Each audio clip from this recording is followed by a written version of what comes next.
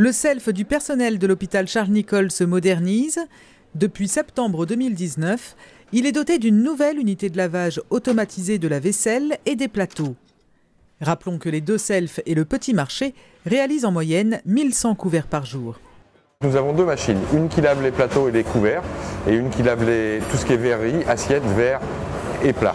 C'est relié entre l'étage du self et le bas.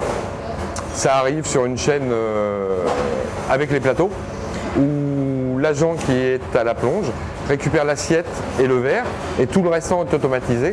Ça va directement dans la machine. Donc on a gagné en termes d'ergonomie où on ne porte plus la vaisselle. En parallèle, un dispositif de tri des déchets a été mis en place avec un code couleur par type de déchets. Déchets triés, triés Alors le tri des déchets, on a demandé la participation de tout le monde, aussi bien les clients que les agents du self, pour réduire les quantités que l'on servait et qui étaient distribuées. Et du coup, euh, on a pu euh, s'apercevoir que euh, depuis septembre, au fur et à mesure, tous les mois, on diminue nos déchets.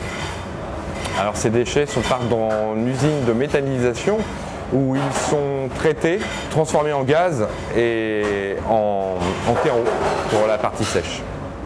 Autre nouveauté, la possibilité de prendre votre café après le repas au premier étage du self.